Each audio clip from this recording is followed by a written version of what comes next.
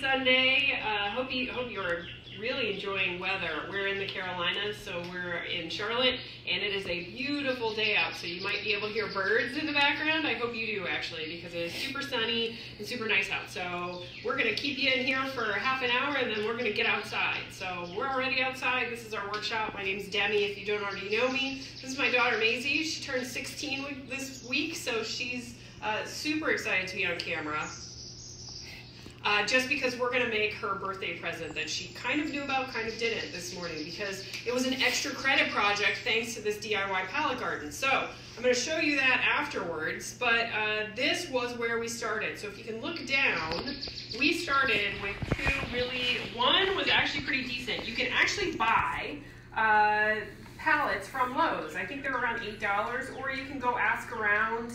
Uh, so they actually have stacks of them that you can purchase, take to the front, or have curbside delivery. So during COVID-19, please, please, please use curbside delivery. Lowe's is huge about that. They will even load your car, so you can order everything online click uh, store near you and all you have to do is go pick it up. So for that social distancing, uh, you can still be ordering things online and get curbside or load to your car pickup. So you could always order those pallets and get them loaded into your car. So theirs are more new uh, if you go and purchase them.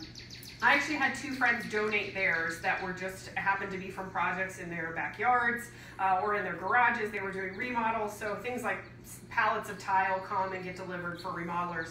So you might be able to ask friends or even go to, uh, right now we're not going anywhere, so I need to really catch you know, if you don't want to go to a grocery store right now, but that's an easy ask normally is to, in their delivery area, say, hey, I'll take any extra pallets you have. So there is right now, the simplest solution is to order it online and go pick it up, have it loaded into your car at your local Lowe's for social distancing. So that's my public service announcement is social distancing. Okay, so what I did was I have two different versions here to show you because the ones that are junkier are really hard to work with. So when you, some of these have been used for a long, long time. So these have already been cut down. I used uh, two things. So here's what I would recommend. If you don't already have a circular saw that is one that is mobile, I have my circular saw that is my table saw, and then we also have, uh, so this is a compound miter saw, and then there's also a table saw in the back. Um, it, very hard to do when you're cutting down something like a pallet versus a long piece of wood to do that without just a circular saw. In a pinch, I actually started on, on this junky piece of wood, which is very hard to cut through, which is why I say be careful with the junky pieces of wood. I actually used my jigsaw. So that was this morning. I about jigsawed my arm off, meaning like just power. So that's why I say I wouldn't really recommend it, especially for these old ones. I did it two prep up our really nice one and that was super simple. So the newer the wood, the easier it is to work with.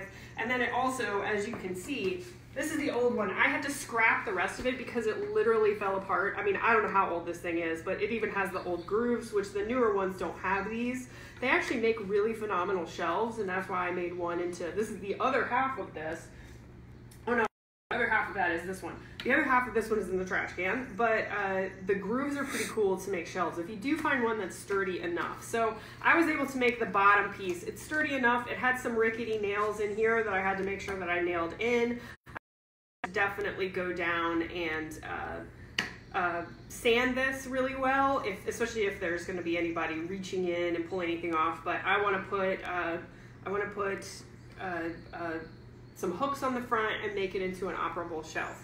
So if these older ones can do that, I'm going to spray paint it. So I'm just going to show you because our Builder Girls Club loves uh, spray paint, especially if it is brighter the better or neon. So I'll show you that paint that we've been using. But that's the old one. What you're going to do is put a base on any of this. So especially these old ones, instead of, you know, you'll tutorials online, you can always pry these off with either a crowbar or a flat, a very strong flat Phillips head screwdriver. This one literally would have fallen to pieces if I had done that, where you can pop off one piece to use as your bottom piece. I just had plywood that I was able to cut down, or again, Lowe's can cut this down for you, no problem. There are huge sheets that they can make in sections that are as cheap as $12. So you, you have probably five or six projects out of something like that that you can see my wood stacks, which will save you from. Um, we have all kinds of extra wood that we can make into other projects. So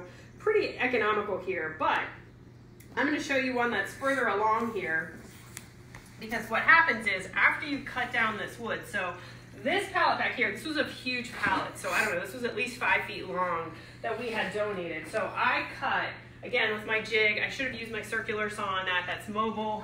I cut down these three sections and what I've done is I've gone ahead and I measured out my wood for my base. So instead of popping off, I decided to use some of my scrap wood that I had that was one by four. Uh, it's actually one, one by 10 by 12, I think was what it was.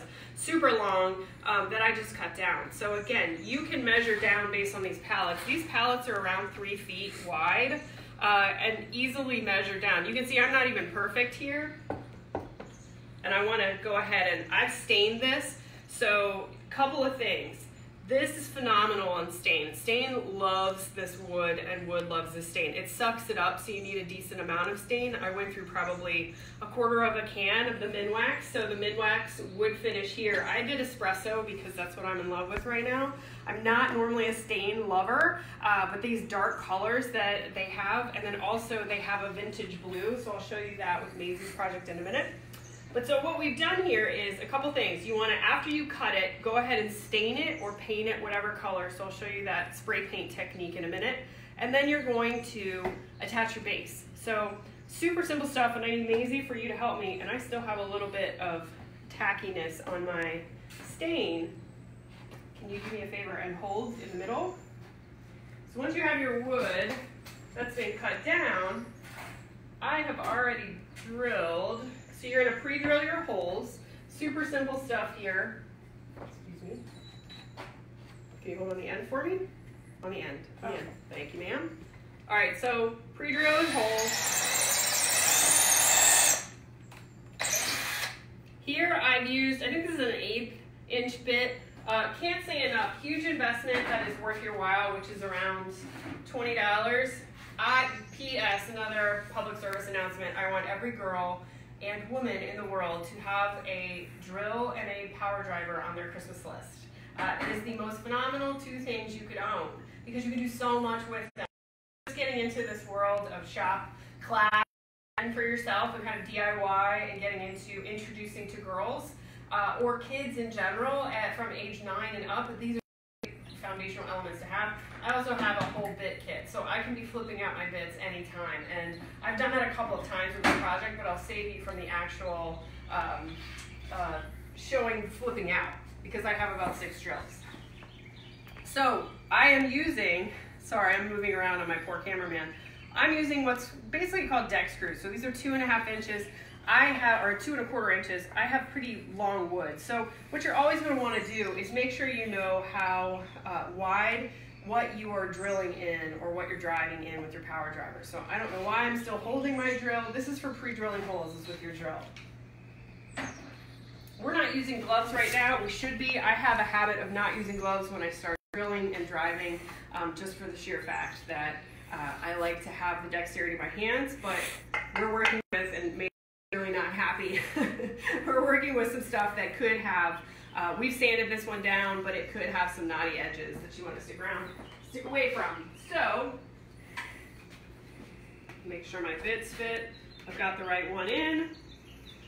I'm gonna drive that in. I've already gone ahead and done the other two so that I don't bore you to oblivion with my drilling. Maisie's gonna hold that nice and steady. This one is having a tough go.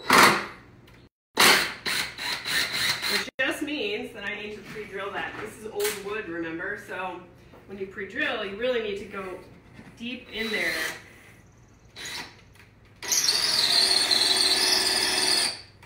As far as you can. Unless I have stripped this bit. Which I don't think we have, so.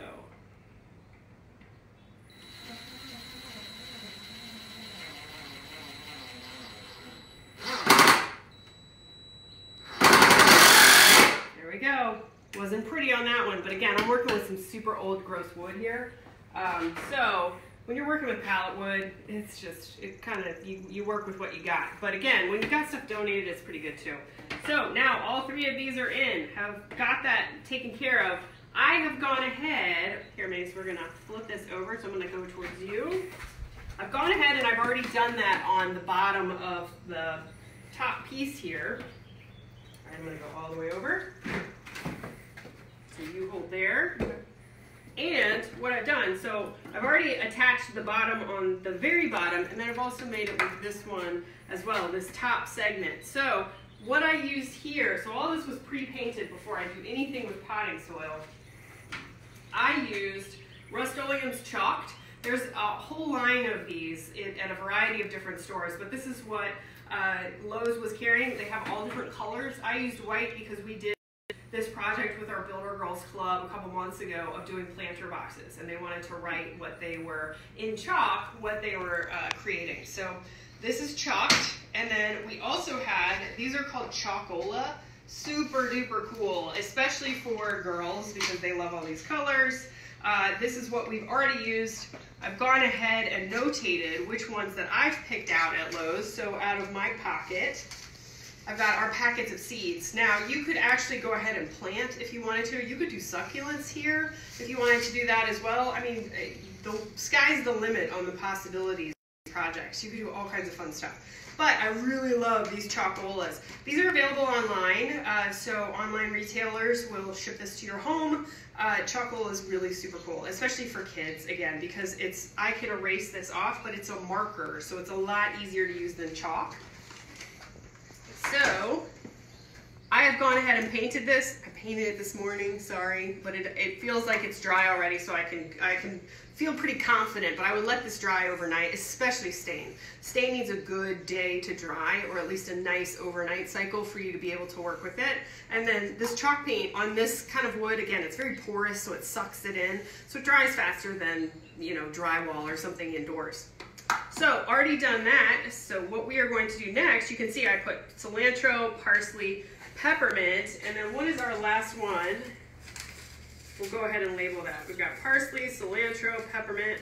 Oh, we have basil. So can you hold these and put them in your pocket? So we'll use our pink marker and I'll do the basil really quick. So it's just like those paint pen markers, really. So really you just, you know, imprint, indent, and it dries almost immediately.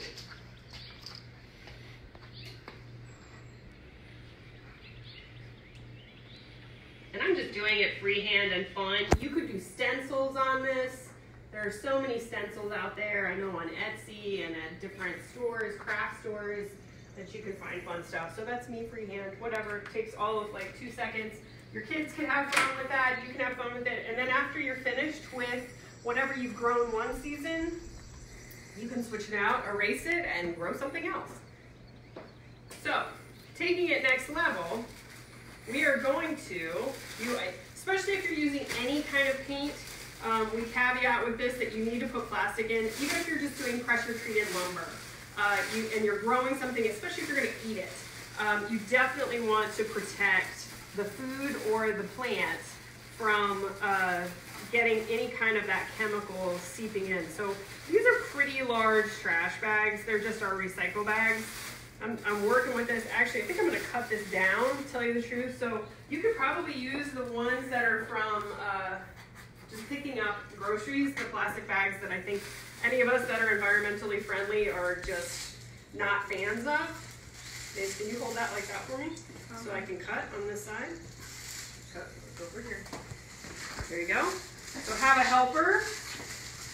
And I'm just going to do this really on the fly so that you can see, but super simple. I'll use this as a drop cloth, so we're big fans of adaptive reuse and not throwing anything away. Uh, hopefully that doesn't mean hoarding, but when it comes to having a shop and having girls around, you pretty much find use for anything and everything in your project. So we are going to, you want to go ahead and put on your glove.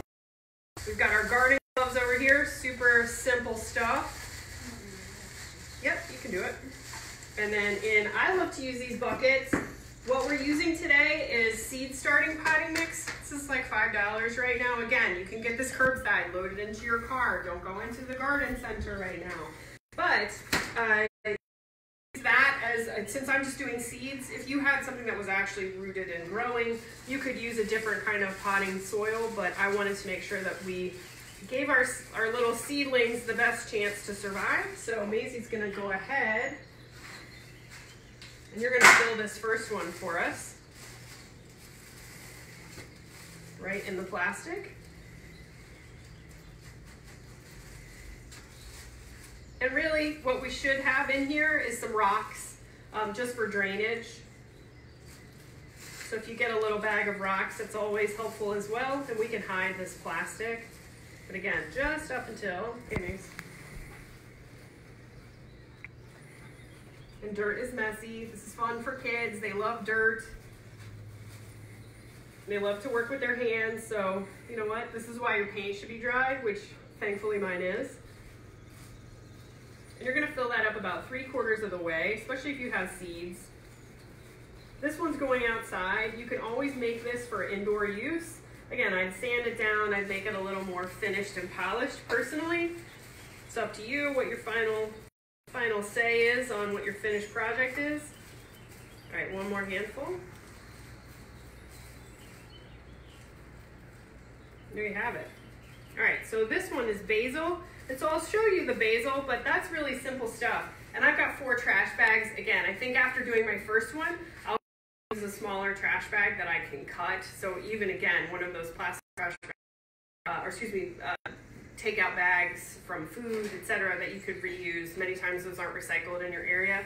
So easy because this is such a small. If you had a longer piece that didn't have some of these pallets have this middle uh, middle column. So when they don't, it's a longer piece, and I would use a bigger, you know, like a black trash bag for for that.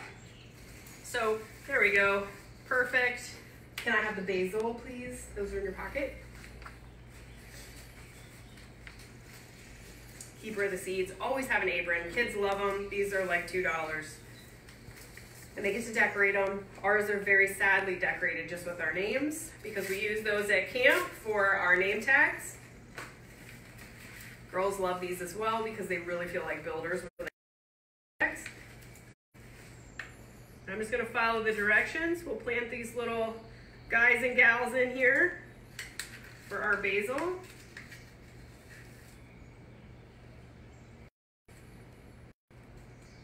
And then we would water those, get them started, and that's a fun project for the kids. So they get to watch that grow. I would put it, again, these are full sun. So I've chosen four that are full sun so I can put that right on our back porch that, or if we were at the workshop, we would put that in a full sun location that the girls could watch grow. So you can germinate this. This is even scientific method. We have a camp that we partner with Dottie Rose Foundation on called Farm to Construction Code, where we would actually uh, have a scientific method where they're germinating their seeds and watching those online and growing. So you can always make this a million fun projects with kids of many ages, not just young kids.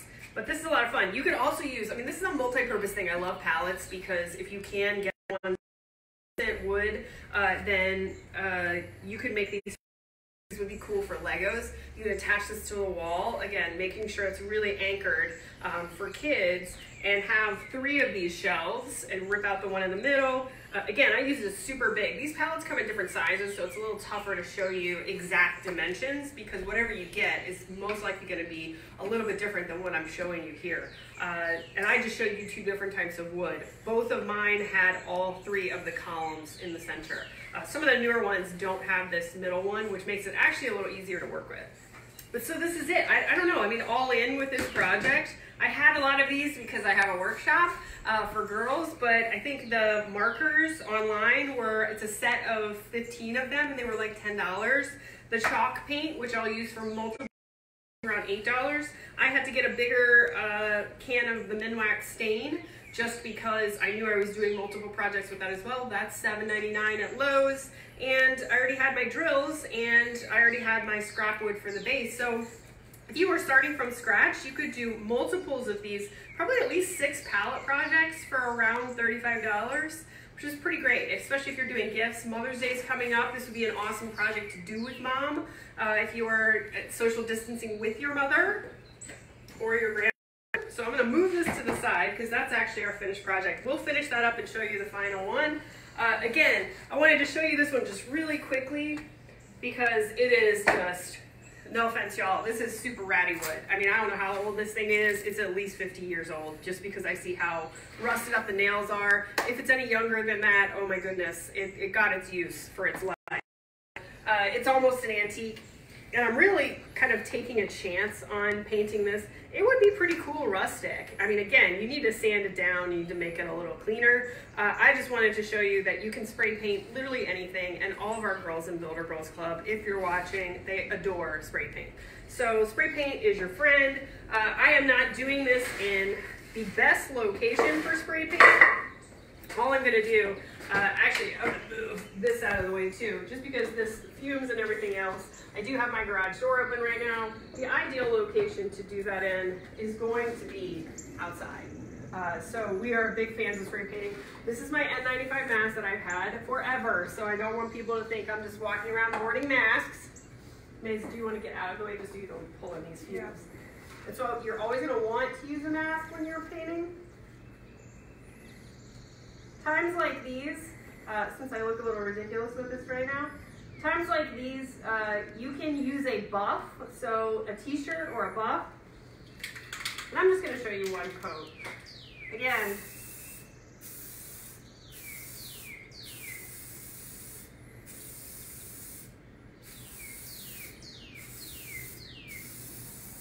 this one's going to take a lot of coats, I can already tell. And we'll show you our final project just because this is such old wood and it's really, really not the best quality. It has lived a life for sure.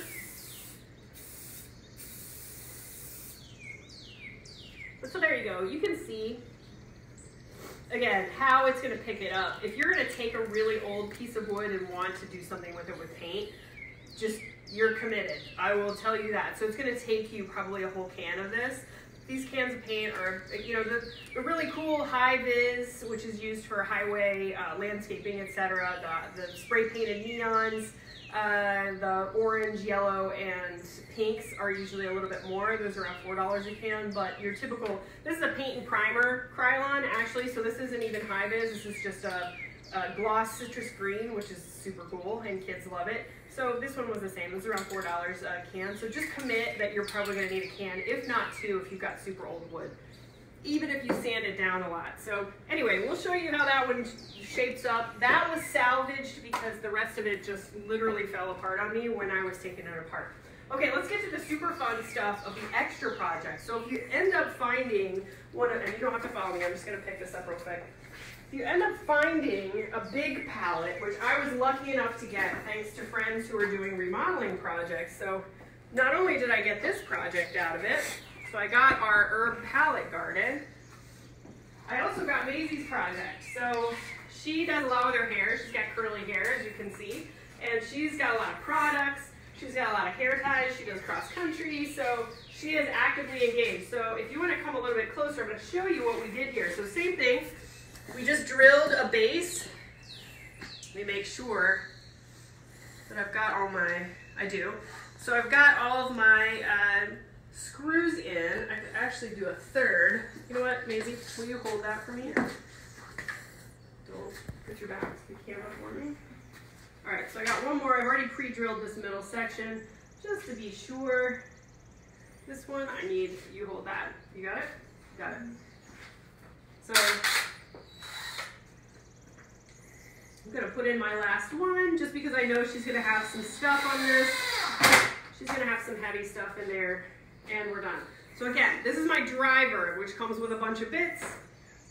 Drill, I have plenty of these because normally we have these. This is one of the first things we do with our Builder Girls Club, which is middle school girls, is introduce them to drill, what we call hammer and drill skills. So hammer and nail, and then also drills and drivers, which is just the fundamentals of a shop, and you can do so many projects just off of that.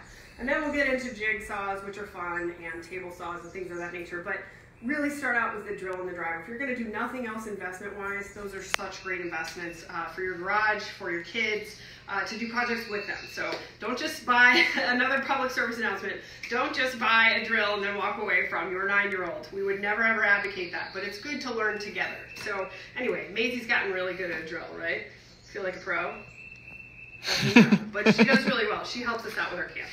So anyway, okay, we're gonna flip this thing back over. You see, I've left it like super scrungy on the back because she's gonna this on the wall.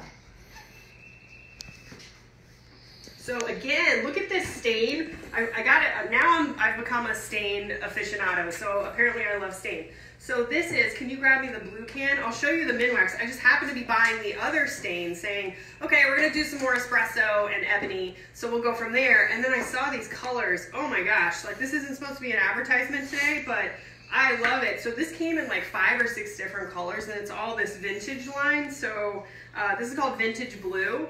288 vintage blue. So this this is again like not the best quality wood to you know bring out the beauty of a stain, but you like this color, right? You, she really loves blue. So I when I saw it, I knew like I gotta get something blue for some project.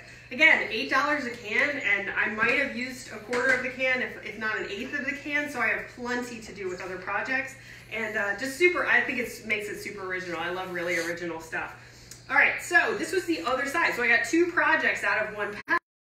Uh, made this into, and I bought these two when I was uh, online shopping at Lowe's. These are just pulls from the kitchen cabinet pull section. So I think this one was $2 and this super cool, uh, this is where she'll hang her hair ties.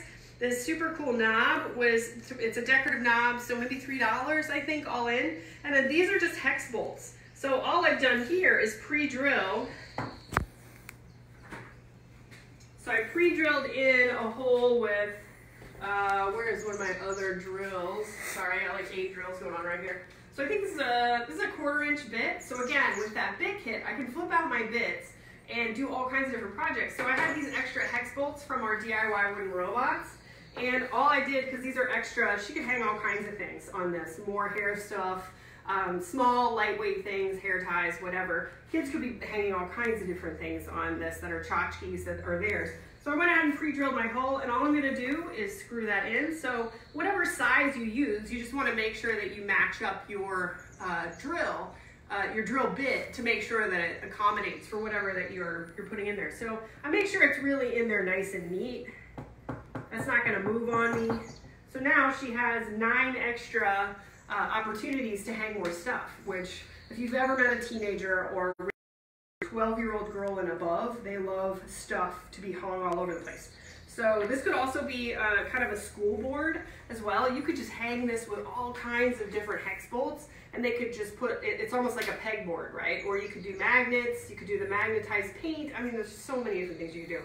So I've done that, you know, kept it simple this morning. I went a little crazy. I'll show you how to do these really quick. I've already pre-drilled for my knob, and then I have it over here. All I have is Phillips head screwdriver. So these are simple projects to do if you ever want to do things with kitchen knobs. Uh, so they come, so that if this really was a kitchen or a bathroom cabinet, those are going to screw together. I use the short one. They usually come with a short and a long uh, bolt to go with it. Literally just going to screw this on. So I'll start, you hold that for me a second. I'm gonna start with my hand just to make sure that it gets on here, and then I'm gonna finish with my flat, or excuse me, Phillips head screwdriver, just to make it nice and tight there. Actually, you know what, I don't even need that. That's what I needed it. So sometimes you do, sometimes you don't. That's on there nice and tight. My nice dirty hands are making that lovely, that dull up a bit. Here, I'll show you this one too. Super simple stuff. For this, this was just one of those hooks that's like $3. Same section where all the knobs are already comes with the screws. You just want to make sure, again, if you're putting this in wood, uh, rather than just drywall and a stud in your house, you want to make sure that your screw, obviously, goes all the way through. So, here is a way of uh, fake it to make it. This is like a 7 18th drill bit, I think, on this one, because I, I needed to go lighter because this is a much smaller hole making sure I fit that through there. I'm gonna eyeball this, so some people are gonna hate me, but I eyeball a lot. I'm not as much of a, uh, especially if I know it's something that's in the center, I'm not gonna measure that. But clearly I could get my measuring tape out, get my pencil, my construction pencil, and measure this. This is not an exact project to me, so I'm not as worried about it. So pretty simple, I'm lining that right underneath.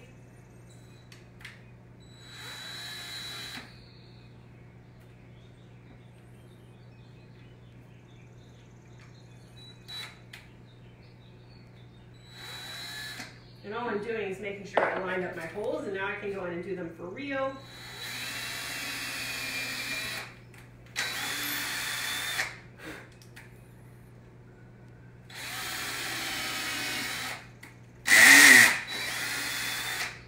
This is when drilling gets fun, is when you're hanging a bunch of stuff. This can go really, really fast. So I've already matched up. This is a Phillips head bit that I actually attached in because that's what we're using today. Gonna line this up.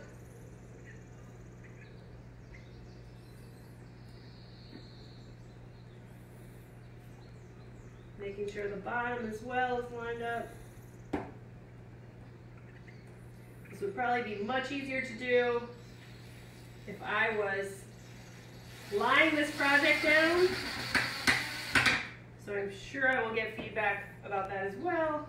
But for camera purposes, I'm showing you this sitting up as opposed to lying flat on a work table.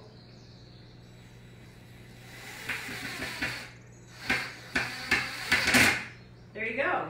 So she's got a finished shelf right here. You know, not perfect. Again, I could have measured that up and made it super exact and right angle, etc. And so now, she is going to use that. Do you want to paint your name on that later? Um, super excited. Welcome to 16.